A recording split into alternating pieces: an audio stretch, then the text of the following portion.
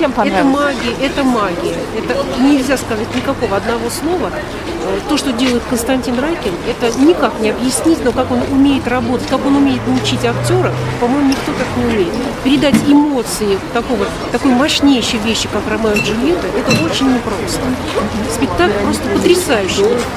По постановке, по костюмам, по оформлению, вообще по всему это один из сильнейших, наверное, впечатлений.